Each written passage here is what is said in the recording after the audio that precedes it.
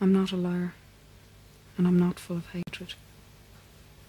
But I hate lies, and so the liars hate me. The same who can't stand the sight of a starving baby. Can you really say you're not in pain? Like me? Are any of us not living painfully?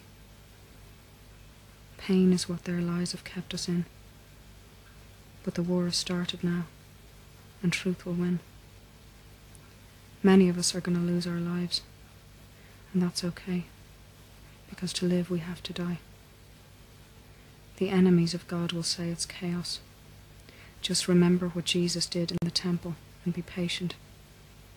Exactly why do you think he was assassinated? Who was it that did the dirty deed? Who didn't like the answers they'd received? Look at the one wearing the collar.